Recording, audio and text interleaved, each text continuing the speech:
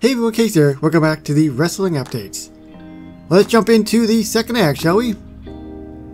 With the undercard complete, it is time for the main event.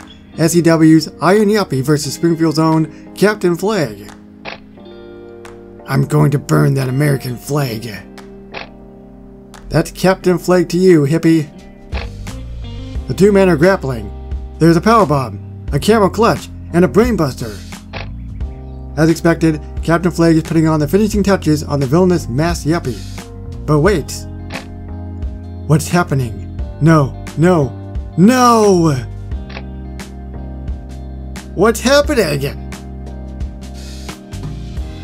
I'm assuming that this so-called fixed match decided to have a little bit of a turn. Inventory-wise, we've got Rumbleina that comes with the Springfield Epic Episcopal Church, We've also got two other remaining items that are from the entire event, or should I say available for the entire event. Of course we've got this ambulance as well that's still here.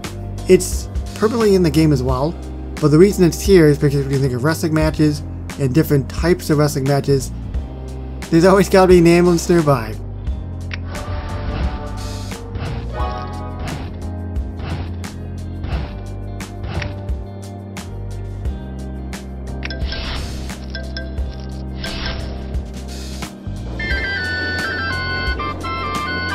I really wish you'd be able to upgrade the Skyfinger Monument to lower the, the time. It seems like it could make a lot of sense, because every 24 hours is kind of frustrating, especially if you log in multiple times.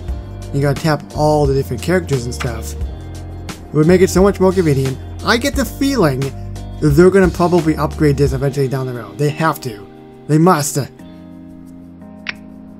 Well, for the prizes, we've got the Golden Ring Wrestling Headquarters, going to require 225 folding chairs. Captain Flag lose to the Iron Yuppie. So much for that script of him winning. Burns cried in disbelief, and that is it. You should actually be able to take this token and exchange it for donuts. For whatever reason though, it's broken and it hasn't shown up yet, so I think EA is still fixing it, or trying to figure a way to do something with that. If they can't fix it, maybe they'll give people donuts in the end? I'm not really sure. Then we've got the wrestling ring, golden coffee statue, and a good old honest Abe. Will we get beautiful Bart?